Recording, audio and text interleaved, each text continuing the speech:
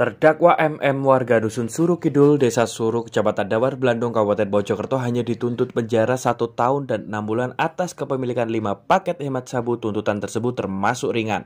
Karena kelima paket tersebut dikonsumsi diri sendiri agar kuat bekerja lebur. Dalam berkas dakwaan jasa penuntut umum JPU Anasuda S yang dibacakan Jaksa Ferry Hari, terdakwa MM ditangkap dengan barang bukti lima paket hemat sabu masing-masing seberat 0,33 gram, 0,32 gram, 0,31 gram, 0,30 gram, dan 0,28 gram. Dari bukti-bukti keterangan saksi, dalam persidangan terdakwa MM memiliki 5 paket sabu dan terbukti melanggar pasal 127 ayat 1 Undang-Undang RI nomor 35 tahun 2009 tentang narkotika. Menuntut terdakwa MM dengan hukuman penjara 1 tahun dan 6 bulan, kata Jaksa Ferry. Atas tuntutan jaksa, penasihat hukum terdakwa yaitu Faridatul Bahyah dan Biro Bantuan Hukum Juris Law Firm mengatakan akan melakukan pembelaan secara tertulis sebab hukuman tersebut dinilai masih sangat berat.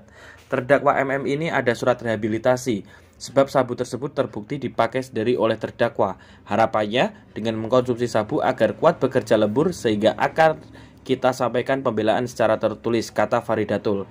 MM ditangkap jajaran Polres Gresik pada Agustus 2021. Penangkapan tersebut hasil dari tertangkapnya terdakwa Adi Chandra dengan barang bukti dan berkas perkara terpisah.